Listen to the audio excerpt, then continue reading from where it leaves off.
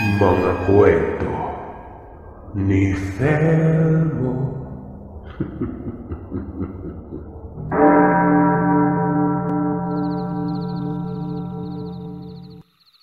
Mapagpalang araw po sa inyo, Sir Seth.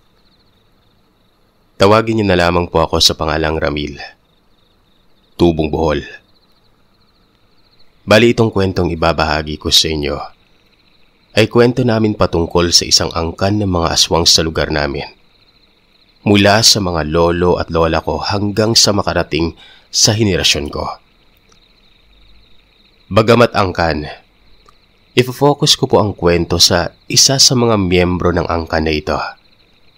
Natawagin na lamang natin sa pangalang Aning Lupe. Nang maabutan ko si Aning Lupe sa kabataan ko, isa na ito sa pinakamatanda sa baryo namin. 80 anyos na ito noong mga panahon na ito. Bagamat sinasabing aswang nga ang matanda ay hindi mo na ito makakatakutan pa sa kadahilan ng kahit naglalakad, nakakatayo at malakas pa ang pakiramdam at memorya. Para bang konting ihip mo lang sa kanya, matutumba na siya. Kapag gabi ay nakakatuwaan din si Aning Lupe. Dahil makikita mo itong magdamagang nakikitagay pa sa mga manginginom nun. Pag nadadat na nila itong gumagala at naglalakad ay niyayaya nila ito. Kagaya na lamang ng isang gabi. Naalala ko pa nang minsang sumama ako kay tatay na mag-inuman kila Ninong. Ang tindahan kasi nila Ninong ay malapit sa bukana ng ilog. Andun pa ang kalaro ko na anak din ni Ninong nun. Nagpaalam naman si tatay kay nanay na isasama nga ako at nang makapaglaro. Alas 7 nun, andun kami sa pangpang. Pinakamataas na po ito na bahagi ng pangpang na parang bangin na at may bakod kasi malapit po doon yung bahay nila Ninong. May nakita kaming matanda noon na nakaupo habang naglalakad. Medyo hindi ko alam kung paano ipapaliwanag Sir Sal pero alam niyo yung nakasquat na upo siya pero humahakbang. Tuloy-tuloy niyang ginagawa yun hanggang sa ilog, sa tubig. Patawid sa ilog na yon at pagkarating niya doon sa kabilang pangpang, kung nasaan kami ay ganun pa rin yung ginagawa niya. Natakot kami ng kababata ko at syempre, agad kaming tumakbo papunta kila tatay sa tindahan na nagiinuman. Pagkarating namin doon, etong kalaro ko ay nagsumbong sa kanyang tatay na parang inaatake daw ng pagiging aswang si Aning Lupe. Agad kaming sinabihan na huwag maingay at maya-maya pa nga, andyan na si Aning Lupe. At ang nakapagtataka Seth, hindi siya doon umakyat sa pangpang gaya ng huli naming kita sa kanya. Doon siya lumabas sa may kawayanan. Ang isa pa kasing talagang mapapatanong ka ay kung bakit at kung ano ang ginagawa niya sa kabilang pangpang not. Gawa ng kasing lugar lang din namin naman yung bahay nila. Malapit-lapit pa nga. Aning Lupe, tama ng pangaaswang. Halika, tumagi po muna kayo. Sabi pa ni Ninong. Tumawa naman ang matanda at ang sabi nito. Nako, retired na ako dyan. Wala na akong panlasa sa hilaw na karne. Gulay-gulay na lang. Malapit ko naman na ipasa ito. Sabay tawanan nun. Hindi mo alam kung sinasakyan lamang ni Aning Lupe ang pagbibiruan pero syempre, matatakot ka pa rin di ba? Ikaw ba naman, ginawa ng panakot sa iyo si Inang Lupe noong bata ka pa? Sino ba namang bata ang gustong malapitan siya sa weirdo niya ring galawan di ba? Nung palalim na yung gabi, nauna nang nagpaalam ang Aning Lupe. Pumasok ulit ito sa may kawayanan. Pailing-iling na lamang sila tatay at ginawang biro na nagre-retiro din pala mga aswang. Sabay utos naman ni Ninong na itabi ang basong pinagtunggaan ng matanda. Ayon pa sa aking ama, Matagal na rin naman daw talaga natahimik na si Aning Lupe. At kung may makikita ka mang kababalagan sa kanya, ay kapag minsang makikita mo siyang gumagalaw ng kakaiba. Katulad na lamang noong nakaraang araw na dumaan ang tiyuhin ni Ninong sa bahay nito. Nakita niya umano ang matanda na nakatayo sa bubungan ng bahay nito. Nakatitig sa kanya. At nang sabihan niya kung ano ang ginagawa doon bigla umano itong pahiga na nagpatihulog sa bubong na siya namang ikinasigaw ng nakakita. Lumagabog pa nga umano ang binagsakan nun. At nang lumabas ang bunsong anak at sabihan si Aning Lupe na kung ano-ano naman ang pinaggagawa niya. Natawa lamang ang matanda tapos ay tumayo na parang walang nangyari nun. Ay naman kina lolo at tatay nang bata-bata pa si Aning Lupe. Madalas itong saktan ng yumao niyang asawa. Madaling araw pa lamang maririnig mong nabubulabog na sila lolo noong mumunti pa lamang ang nakatira sa barangay namin. Hindi dahil sa gusto lamang manakit ng mister nito, kundi dahil sa pang-aaswang nito ni Aning Lupe. Isang halimbawa na ay ang nangyari umano noong dekada 80. Itong yumaong asawa ni Aning Lupe ay kabarkadang barkada din naman nila lolo. Isang gabi, habang nagiinuman ng nagkakabarkada, merong binata silang kabarangay ang humahangos na tumatakbo sa grupo nila lolo noon at asawa ni Lupe na tawagin na lamang natin sa pangalang Tabo. Manong Tabo, si Manang Lupe po, nahuli sa kabilang barangay ani ng binata. Napailing na lamang ang asawa nito at tinanong kung nasaan na ito. Nakatakas daw. Ayon dun sa kwento, gawa ng ang kabilang barangay noon ay merong malapit na tawiran papunta sa bukana ng bayan kung nasaan ang mga makalumang paanakan o laing inon.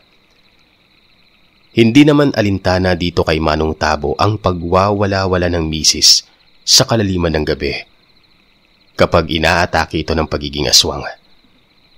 Pero palagi niya itong pinagsasabihan na huwag nang manggambala ng taga ibang barangay o kung ano pa. Dahil baka mamaya, patayin siya. Pero ito nga Sir Seth, ilang araw nang pabalik-balik si Aning Lupe nang hindi alam ni Manong Tabo sa lugar na yon. Nung hapong nahuli si Aning Lupe, ang pagkakaalam ni Manong Tabo noon ay nasa bahay nila ito. Dahil nung umalis siya para makipag-inuman ay nakapagpaalam pa ito sa asawa niya. Tatlo umano sa buntis noon ang humihilab na ang sikmura sa laing ina yon. At tila ba manganganak na doon sa lugar.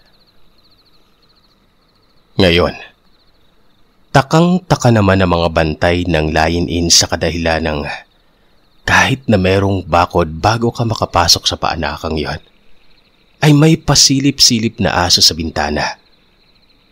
As in, yung taas na mga paa nito ay nakasalampak sa pader at nginungudgod yung ulo sa may bintana na para bang hinahawi nito yung pantakip noon o pangtabon doon. Ilang beses na rin itong sinisita at kapag nilalabasan ng mga taga roon ay bigla na lamang itong mawawala. May paliwanag ko lamang sir sa na hindi katulad ngayon. Ang mga laing inoon ay gawa sa kugon. At swerte na lamang kapag may mga matitibay na kahoy na haligi.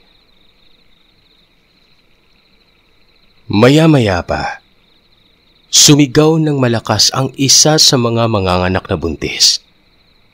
Ang buong akala ng mga nagbabantay ay lalabas na ang bata pero nang datnan nila ito sa higaan niya Nakaharap ito sa may bubungan. At ang bubungan na gawa sa kugon ay butas na butas na. Meron dong babaeng nakapasok na ang ulo at kabilang balikat at braso na pilit pumapasok at inaabot ang tiyan ng babaeng yon. At ang babaeng nasa taas ng bubungan, walang iba kundi si Aning Lupe. Bantog eh, Sino bang hindi makakakilala sa kanya?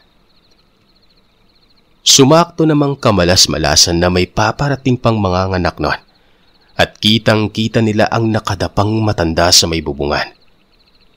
Hinatak ito sa paan ng kalalakihan at kinaladkad umano palabas ng paanakan at ibinalandra sa kalsada kung saan mabilisang dumagsa ang mga tao.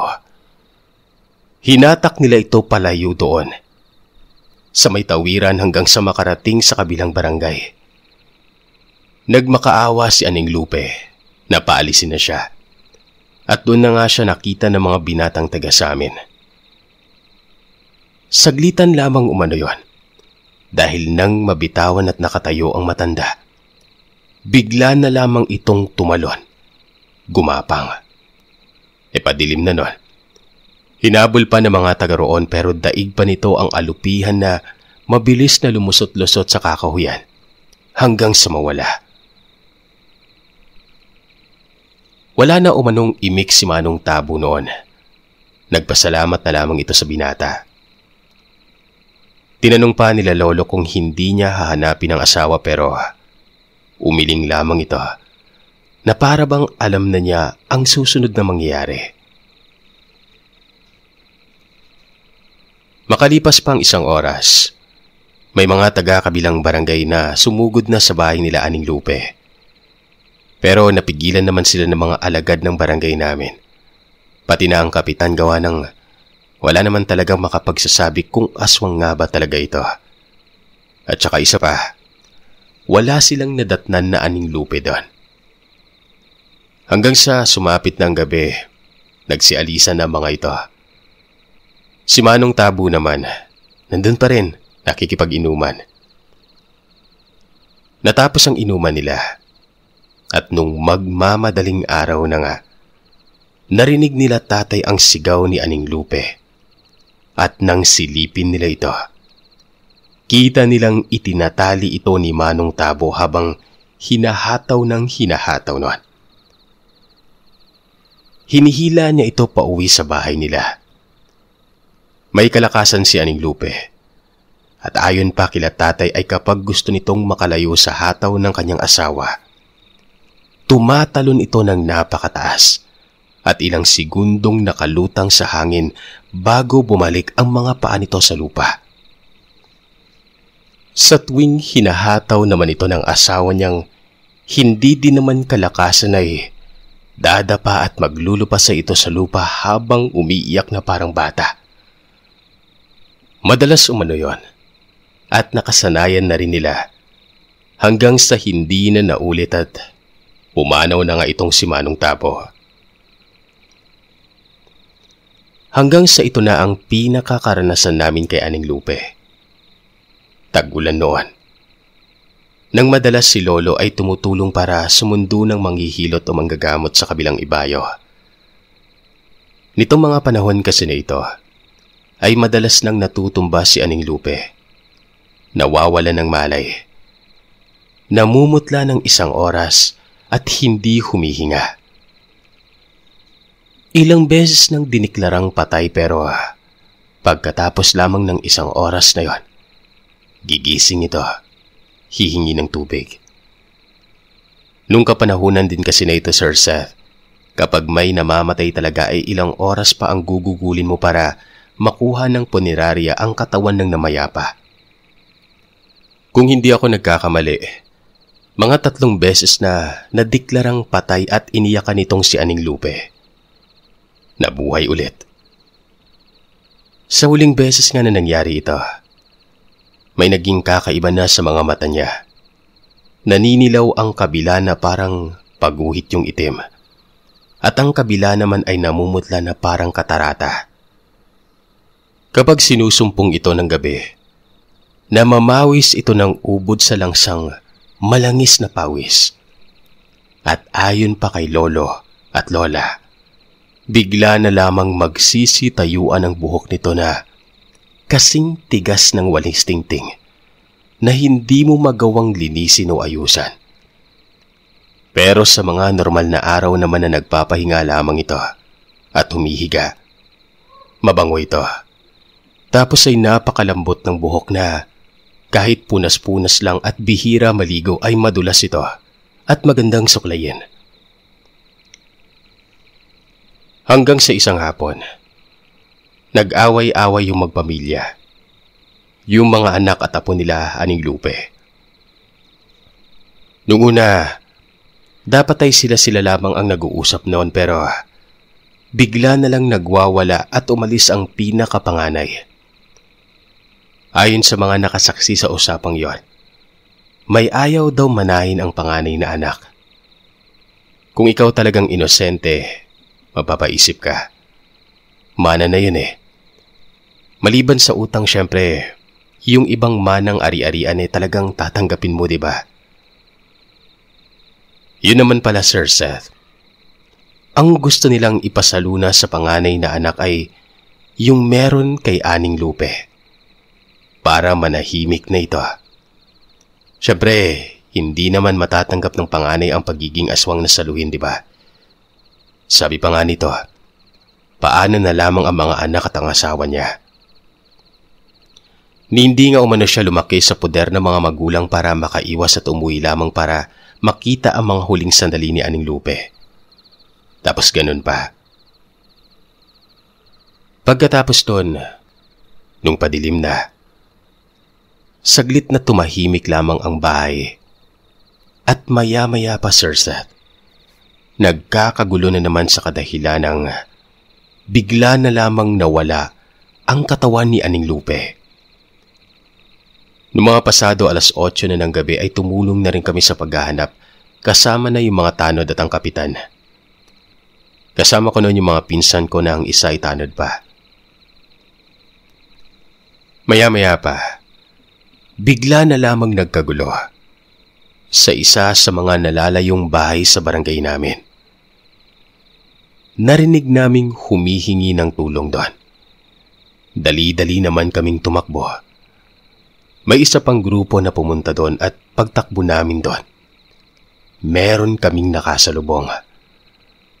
Well, hindi naman totally nakasalubong pero sabihin na lamang natin na nasa kalsada kami o trail na daanan papasok doon sa kaloob-loobang nag-iisang bahay na yon. At sa gilid ng trail na yon ay bakante at madamong lote.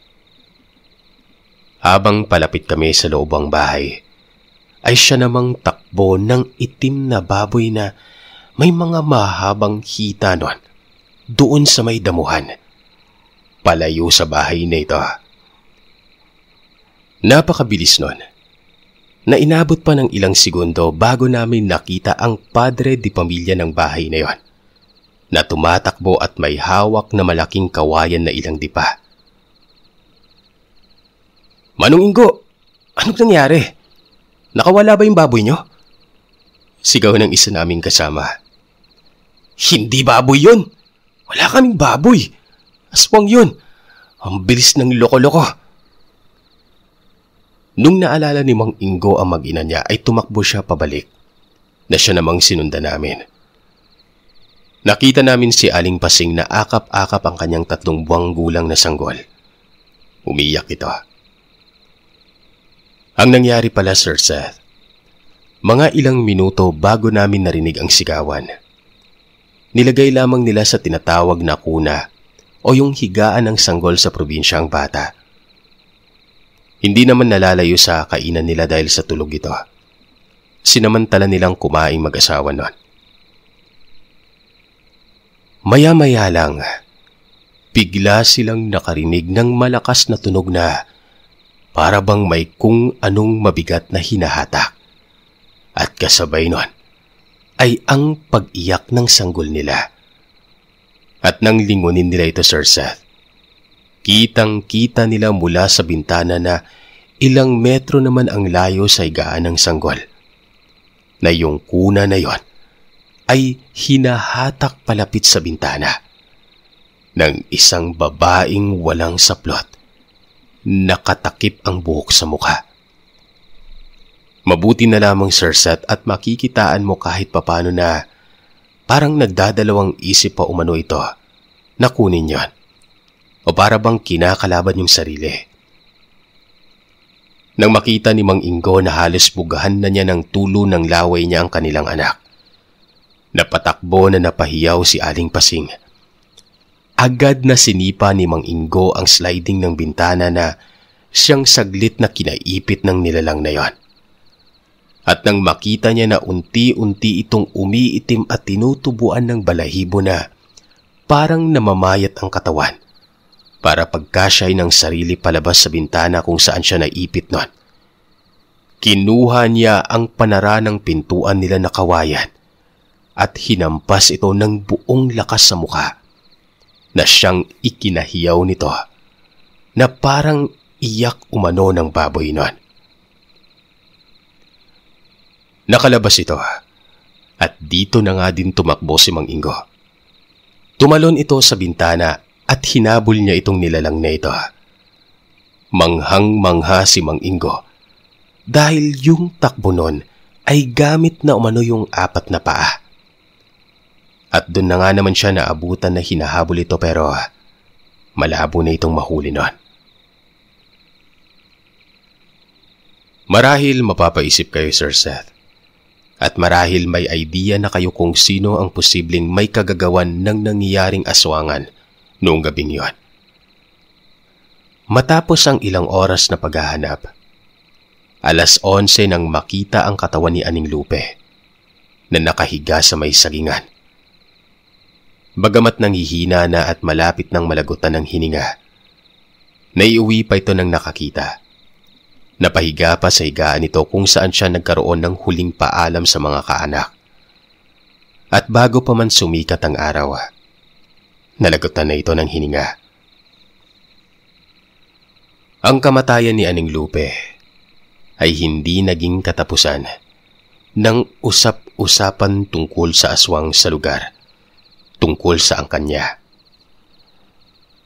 Bagamat maraming nag-isip na siya ang umatake sa sanggol, pero ang ipinagtataka ng mismong mag-asawa na nakilamay sa matandang yon ay kung bakit wala itong bakas na kung anong sugat o kahit na ano na tinamaan ng hampas. Dahil ayon dito kay Mang Ingo, sigurado siyang pulido ang pagkakatama niya sa matandang yon. Hanggang sa makalipas lamang ang ilang araw sa pagkalibing ni Aning Lupe, meron kaming napansin sa huling gabi ng burol niya hanggang sa araw ng libing at mga ilang gabi pa.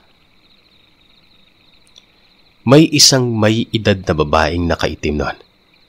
Ang sumama sa burol at sa libing na merong maga ang mukha at may nakatapal na dahon doon at nakatali o nakabenda ng kung anong pinunit na tela. Nakapikit din ang isang mata nito sa tinamaan o sa namagang parte ng mukha hindi man namin mapagdudugtong noon kung na paano yon at kung sino.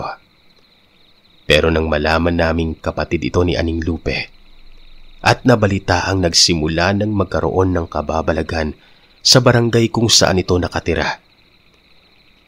Naisip namin ang posibilidad na hindi kaya ito yung sumalo ng mutya at ang sumugod sa sanggol sa isang bahay sa barangay namin hindi si Aning Lupe, kundi siya. Kasi sa pagkakaalam ko, Sir Seth, si Aning Lupe, ni minsan ay hindi nantalo ng sarili niyang kabarangay.